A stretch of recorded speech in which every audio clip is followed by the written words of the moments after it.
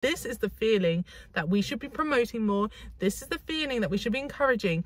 Go and try something new. Do something different from your everyday routine. When I tell you that I am so grateful for what just happened, I came for an interview at this gym and I packed my gym gear because I was like, I'm gonna go to the gym anyway. I've been consistent with my gym routine. Like I'm really trying to doing more things that make me happy. So I was like, the gym makes me happy. I want to be consistent. I've been very consistent for the past two weeks and I'm very grateful because I'm already seeing results. So I came for an interview at the gym. It was an hour long. As I was leaving, the person who was interviewing me was like, if you want to come back in the evening, come and have a session.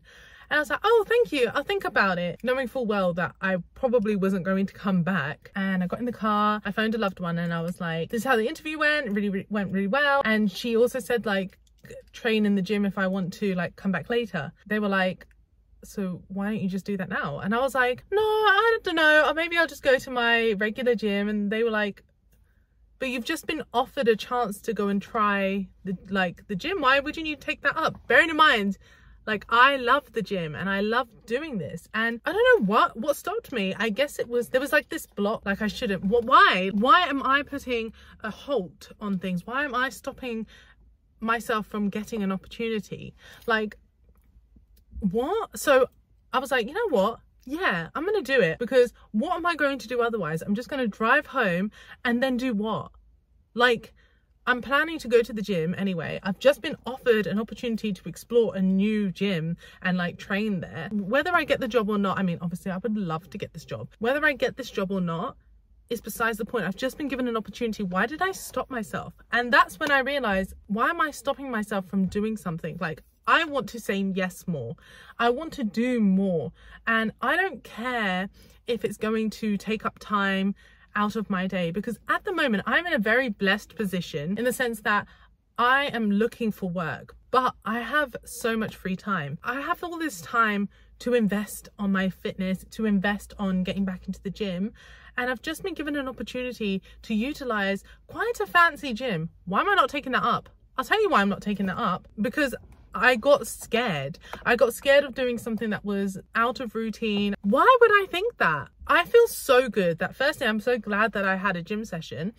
But also, I'm really glad that I got to experience a different environment. I got to experience something new. And not only have do I feel great because of my workout, but I feel great like just because I did that. I'm so proud that I put myself out of my comfort zone and did something that's not in my usual routine. And you know what's so funny also is that I have been wanting to do YouTube for a very, very long time and the amount of times that I try to make videos, but I don't know why I just freeze. And this one just feels so natural. And I think it's because I'm genuinely so happy with what I've just done. That could have not happened. I could have not been in this position to make this video to like to say do more take a risk and go for an opportunity, do something different.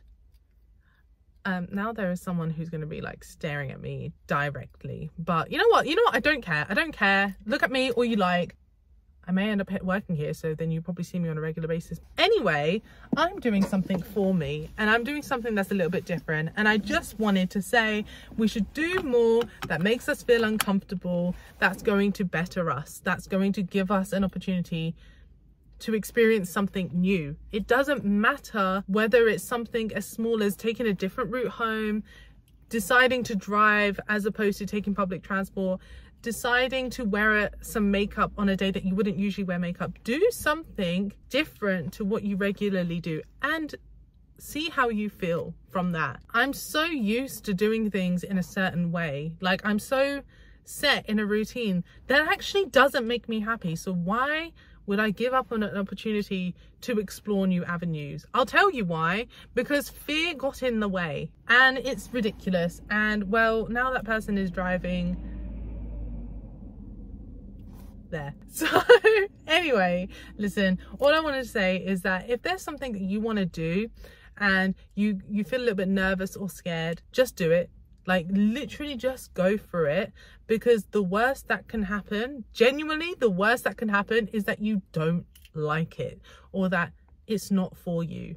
But at least give yourself that opportunity to try. We need to be more open to trying things. I used to preach this all the time like just try Just be open to trying. Now I need to practice what I'm preaching. And on that note, I gotta go home to, you know, rinse up. I'm just so proud of myself for doing that. And this is the feeling that we should be promoting more.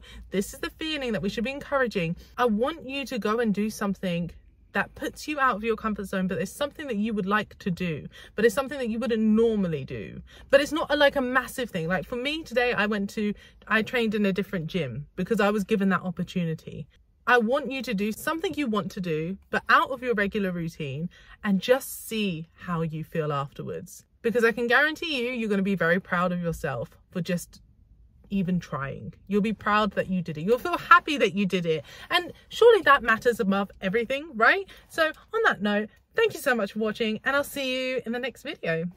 Bye guys.